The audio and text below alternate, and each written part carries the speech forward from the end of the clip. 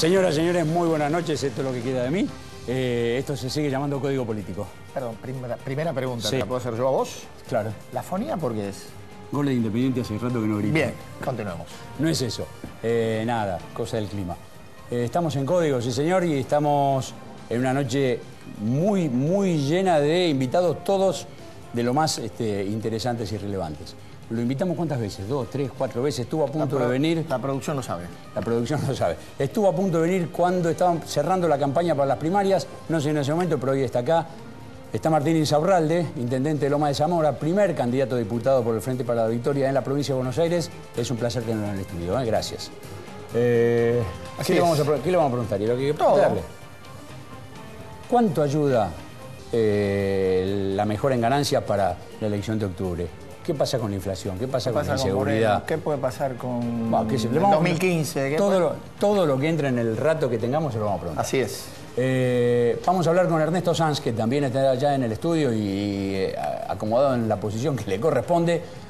Sanz fue en el debate de ayer en, la, en comisión, en el Senado, el más duro y más eh, filoso, Crítico, crítico de los opositores a la reapertura del canje de deuda, a la posición del gobierno a la reapertura del canje de deuda.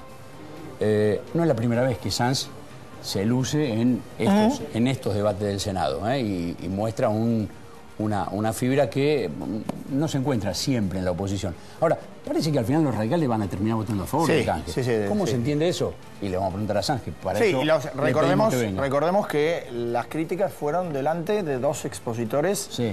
notables, por lo Sí. menos notables por el apellido. Sí. Uno, el ministro de Economía Lorenzino, el otro, el viceministro Axel Kicillof. ¿El ministro de Verdad de Economía no estaba? Moreno. No, Moreno no no, estaba. no estamos, no estamos. Bueno. Eh, pero igual vale, ¿eh? Sí. Vale. Eh, tema inseguridad, ¿eh? que está en la campaña, en realidad está en la campaña porque está en la vida de todos los días de los argentinos.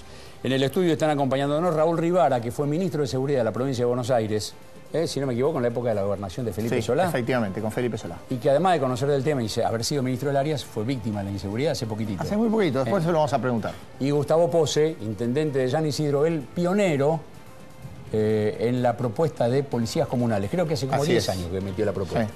Hoy está en el Frente Renovador con Massa, eh, acompañando al Frente Renovador de Massa, que también está haciendo eh, propia esta eh, postulación, esta propuesta de policía comunal. ¿Sirve eso para, o cuánto sirve para arreglar el problema de la inseguridad? Se lo vamos a preguntar a ellos.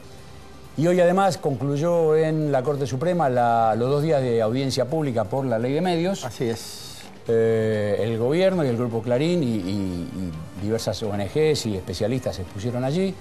Para hablar de eso nos acompañan eh, la doctora María Angélica Geli, eh, constitucionalista, y el doctor Gabriel Bausat, que es un abogado especialista en defensa de la competencia. Ellos se expusieron dentro de la postura de Clarín. Así es. Vamos a preguntarle, digamos, de los temas centrales, eh, de, de lo que se discutió en la audiencia pública, previa a que la Corte tome su fallo definitivo sobre la ley de medios, qué es la conclusión que puede sacarse, qué es lo que se dijo. Así es, así es. Esa es la propuesta, si nos da el tiempo y la voz, Sí, no, vos cuidate. Vamos a meter todo. Igual tenés que preguntar. claro, nos espera Insaurralde. Vamos. ¿Cómo le va? ¿Qué tal? Buenas noches. ¿Cómo anda? Muy bien. Gracias por venir, ¿eh? No, por De favor. verdad. Eh, a ver, vamos a aprovechar el tiempo. Esta medida de mejora para un millón y medio de personas